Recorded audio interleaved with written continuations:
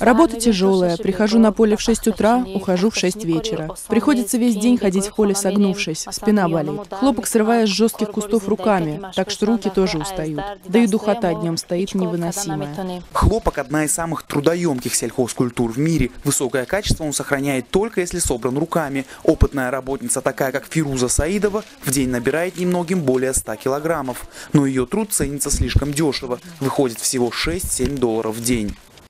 Но работать надо. У меня пятеро маленьких детей. Другой-то работы и нет.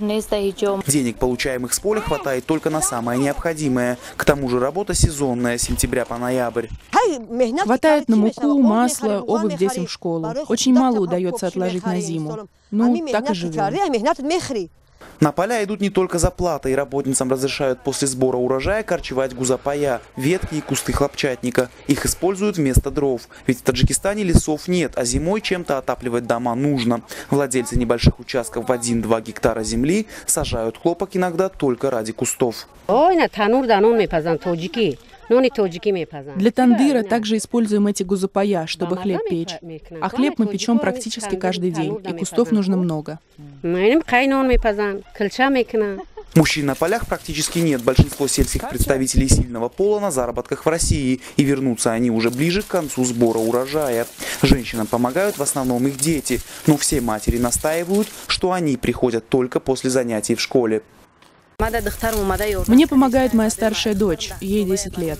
Она приходит ко мне в поле после школы. Сейчас немного подрастет вторая дочь, тоже будет помогать. С каждым годом посевы хлопчатника в стране сокращаются только за последние 4 года примерно на 15%, до 180 тысяч гектаров. Дихканам, таджикским крестьянам хлопок приносит все меньше прибыли. На мировом рынке цены продолжают падать. При этом растет стоимость удобрения, которое нужно завозить. Своего производства в стране нет.